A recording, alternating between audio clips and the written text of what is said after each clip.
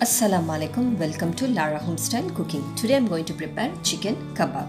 I have taken here around 400 grams of chicken mince.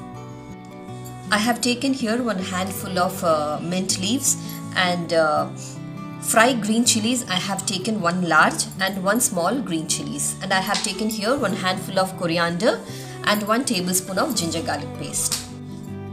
I have taken here one and a half tablespoon of Kashmiri chili powder, one and a half tablespoon of cumin powder, one tablespoon of garam masala, salt to taste, and two tablespoon of corn flour powder, and two table in here two tablespoon of besan powder. Now I'm going to blend it all together. You can take a big size mixie jar if you have at home. I'm adding the minced chicken here. I'm adding the ginger garlic paste mint leaves, chilies, coriander. I'm adding all the masalas here. You can just add it. It's quite easy. The ingredients which is available in your kitchen, I'm just showing you to prepare it very easy method of kebabs, chicken kebabs.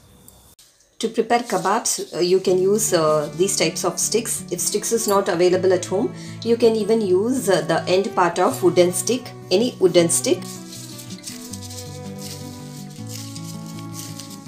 Any size as you prefer, either it let it be a medium size or uh, see this is the way to prepare. When the oil is hot, you can see. Now I'm adding the kebab here. Just pull it softly and you can place it here. Very easy to prepare at home. You can use uh, simple ingredients which I've used here which is available in your kitchen also. Do try this dish. A tasty kebabs, chicken kebab. We can use even uh, uh, mutton mince here if you prefer. Nice gold gold kebabs are ready in this stage. In the middle, I'm just adding a charcoal piece here just for 2 minutes, nothing else. And I'm adding little ghee here and I'm going to close it with a lid. Just 2 minutes. It's been 2 minutes, I'm going to remove it.